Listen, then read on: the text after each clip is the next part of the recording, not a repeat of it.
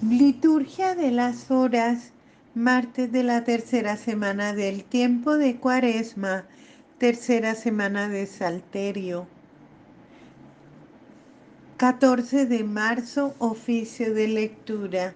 Señor, abre mis labios y mi boca proclamará tu alabanza. Gloria al Padre y al Hijo y al Espíritu Santo como era en el principio, ahora y siempre, por los siglos de los siglos. Amén. Antífona. Ojalá escuchéis hoy la voz del Señor, no endurezcáis vuestro corazón. Aclama al Señor tierra entera. Servid al Señor con alegría, entrar en tu presencia con aclamaciones. Sabed que el Señor es Dios, que Él nos hizo y somos suyos, ovejas de su rebaño. Entrad por sus puertas con acción de gracias, por sus atrios con himnos, dándole gracias y bendiciendo su nombre.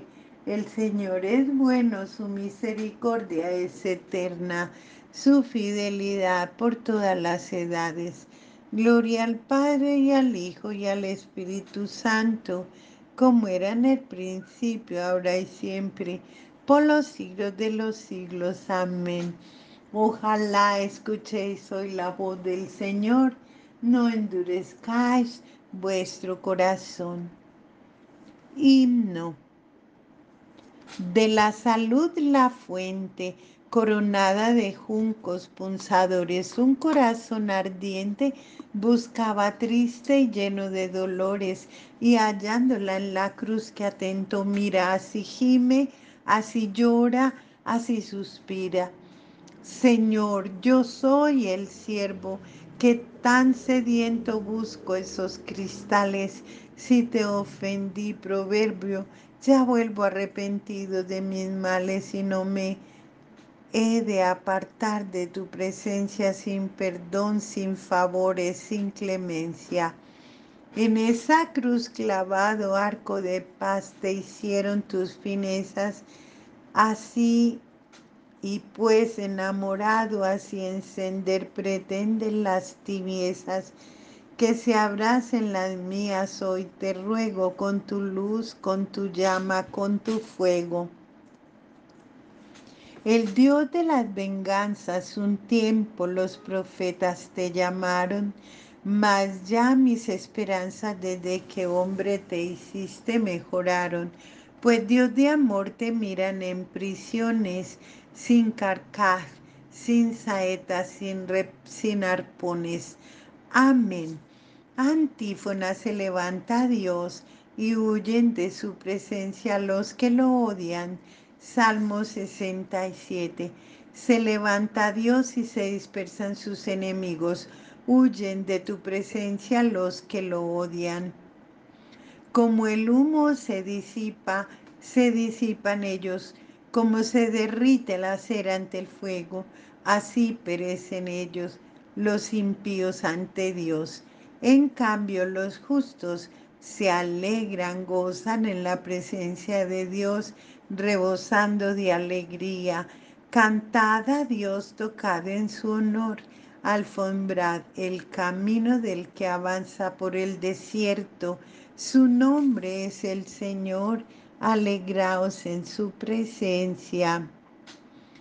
Padre de huérfanos, protector de viudas, Dios vive su santa morada Dios prepara casa a los desvalidos, libera a los cautivos y los enriquece.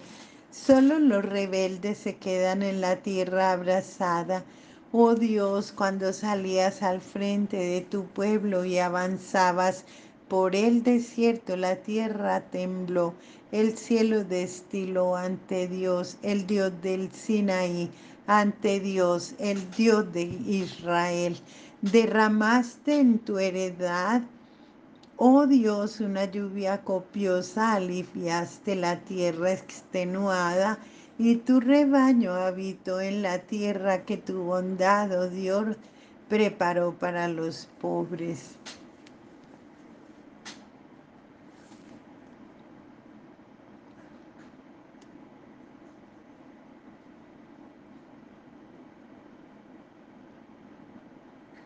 Gloria al Padre y al Hijo y al Espíritu Santo, como era en el principio, ahora y siempre, por los siglos de los siglos. Amén. Se levanta Dios y huyen de su presencia los que lo odian. Antífona. Nuestro Dios es un Dios que salva. El Señor Dios nos hace escapar de la muerte. El Señor pronuncia un oráculo, millares pregonan la alegre noticia, los reyes, los ejércitos van huyendo, van huyendo, las mujeres reparten el botín. Mientras reposabais en los apriscos, las alas de la paloma se cubrieron de plata, el oro destellaba en su plumaje, mientras el Todopoderoso dispersaba a los reyes, la nieve bajaba sobre el monte umbrío. Las montañas de Bazán son altísimas, las montañas de Bazán son escarpadas. ¿Por qué tenéis envidia, montañas escarpadas del monte escogido por Dios para habitar, morada perpetua del Señor? Los carros de Dios son miles y miles, Dios marcha del Sinaí al santuario Subiste a la cumbre llevando cautivos, te dieron tributo de hombres. Incluso los que se resistían a que el Señor Dios tuviera una morada. Bendito el Señor cada día, Dios lleva nuestras cargas, es nuestra salvación. Nuestro Dios es un Dios que salva. El Señor Dios nos hace escapar de la muerte. Dios aplasta las cabezas de sus enemigos, los cráneos de los malvados contumaces. Dice el Señor, los traeré desde Bazán, los traeré desde el fondo del mar. Teñirás tus pies en la sangre del enemigo y los perros la lamerán con sus lenguas. Gloria al Padre y al Hijo y al Espíritu Santo como era en el principio, ahora y siempre, por los siglos de los siglos. Amén. Nuestro Dios es un Dios que salva. Señor Dios, el Señor Dios nos hace escapar de la muerte. Antífona. Reyes de la tierra, cantad a Dios, tocad para el Señor. Aparece tu cortejo, oh Dios, el cortejo de mi Dios, de mi rey hacia el santuario. Al frente marchan los cantores, los últimos los tocadores de arpas. En medio las muchachas van tocando panderos. En el bullicio de la fiesta bendecida Dios, al Señor estirpe de Israel. Va adelante Benjamín el más pequeño, los príncipes de Judá con sus tropeles, los príncipes de Zabulón, los príncipes de Neftalí. Oh Dios, despliega tu poder, tu poder, oh Dios, que actúa en favor nuestro. A tu templo de Jerusalén traigan los reyes su tributo. Reprime a la fiera del cañaveral, al tropel de los toros, a los novillos de los pueblos. Que se te rindan con lingotes de plata, dispersa las naciones belicosas Lleguen los magnates de Egipto, Etiopía extienda sus manos a Dios. Reyes de la tierra, cantad a Dios, tocad para el Señor que avanza por los cielos, los cielos antiquísimos que lanza su voz, su voz poderosa. Reconoced el poder de Dios. Sobre Israel resplandece su majestad, su poder sobre las nubes. Desde el santuario Dios impone reverencia. Es el, es el Dios de Israel quien da fuerza y poder a su pueblo. Dios sea bendito, gloria al Padre y al Hijo y al Espíritu Santo, como era en el principio, ahora y siempre, por los siglos de los siglos. Amén. Reyes de la tierra, Cantad a Dios, tocad para el Señor. Ahora es el tiempo propicio, ahora es el día de salvación de la carta a los hebreos. Hermanos, Vosotros que habéis sido consagrados a Dios y sois participantes de una vocación celeste, poned vuestra consideración en el apóstol y sumo sacerdote de la fe que profesamos, en Jesús. Él es fiel hacia aquel que lo constituyó para esta misión, como lo fue también Moisés en todo para con la casa de Dios pero él ha sido juzgado digno de tanta mayor gloria que Moisés, cuanto supera en dignidad la casa misma, aquel que la construyó. Todas las casas tienen su constructor, pero el hacedor de todas las cosas es Dios. Moisés fue fiel a toda la casa de Israel en su calidad de servidor cuya tarea fue de dar testimonio sobre la verdad de cuanto había sido revelado. En cambio, Cristo es fiel en su calidad de hijo al frente de su propia casa y su casa somos nosotros y mantenemos hasta el fin la firmeza y la alegría confiada de nuestra esperanza. Por lo cual, como dice el Espíritu Santo, Hoy escucháis su voz, no endurezcáis vuestro corazón como en aquella rebelión en el desierto, cuando vuestros padres me pusieron a prueba y dudaron de mí, aunque habían visto mis obras durante 40 años.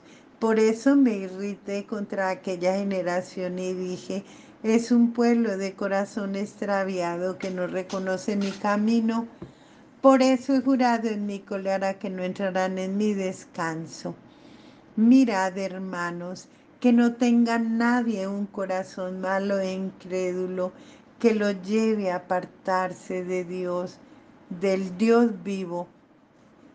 Animaos unos a otros día tras día mientras perdura el hoy, para que ninguno de nosotros endurezca en la seducción del pecado porque hemos llegado a ser partícipes de Cristo a condición de que mantengamos firme hasta el final nuestra confianza primera. Cuando se dice hoy sí escuchéis su voz, no endurezcáis el corazón como en Meribá, en aquella rebelión. ¿Quiénes son los que se rebelaron después de haber escuchado la voz de Dios? ¿No fueron acaso todos los que salieron de Egipto a las órdenes de Moisés, contra quienes se irritó Dios por espacio de 40 años? ¿No acaso contra los que pecaron y cuyos cadáveres quedaron en el desierto? y a quienes juró que no entrarían en su descanso sino a los rebeldes, y así efectivamente vemos que no pudieron entrar debido a su incredulidad. Responsorio, Cristo en su calidad de hijo al frente de su propia casa y su casa somos nosotros.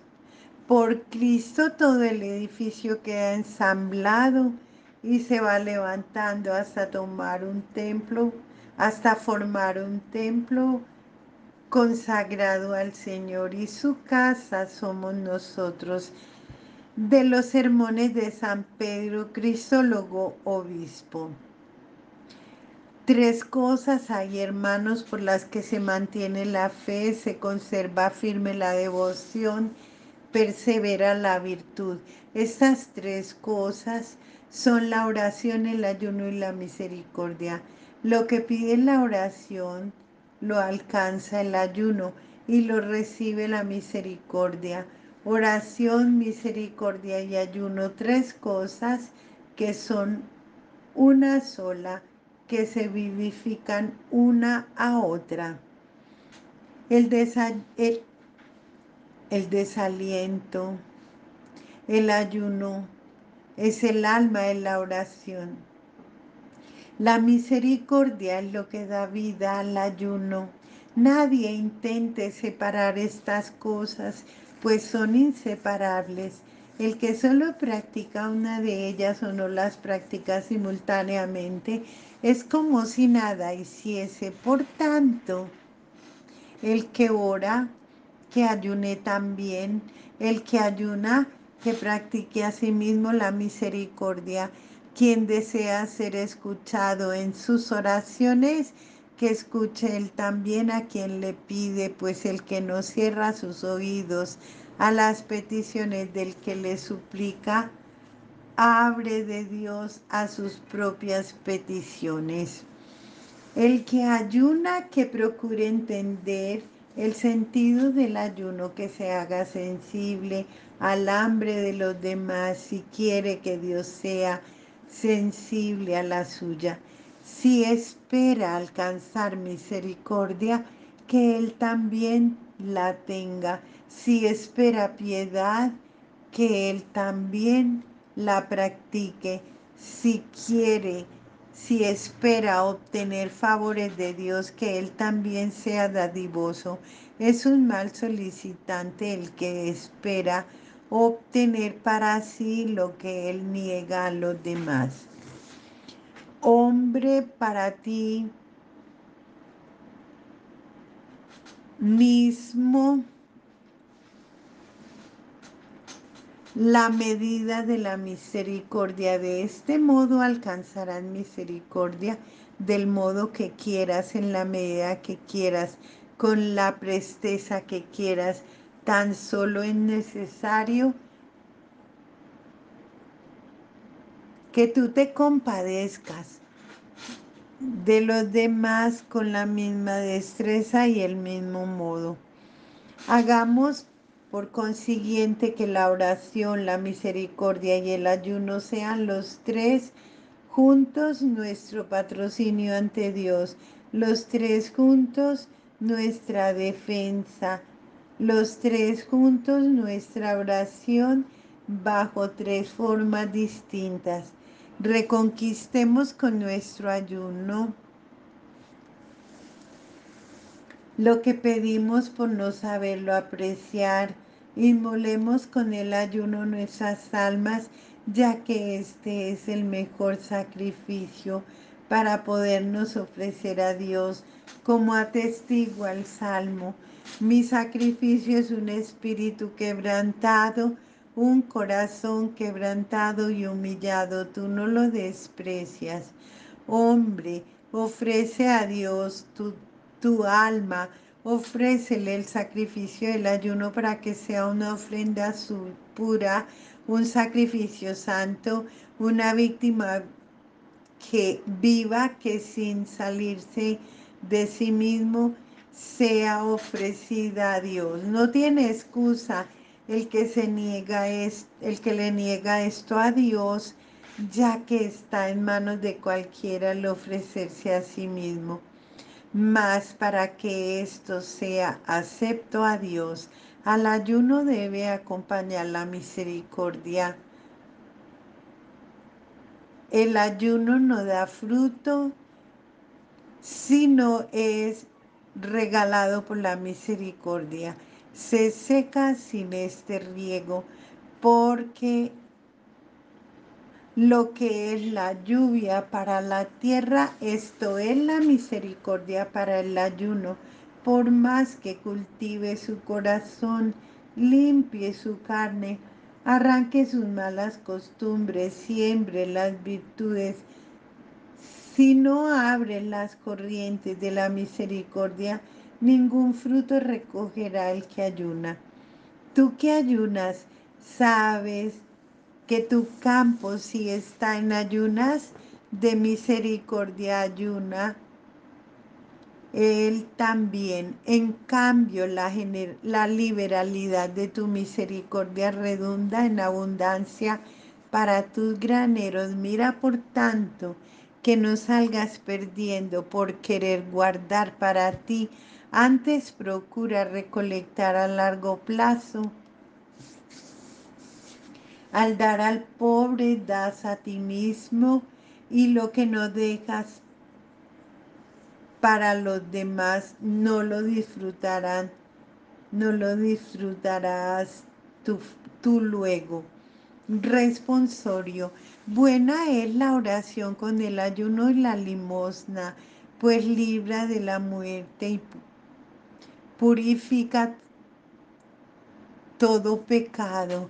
Ella hace alcanzar misericordia y obtiene la vida eterna, pues libra de la muerte y purifica de todo pecado.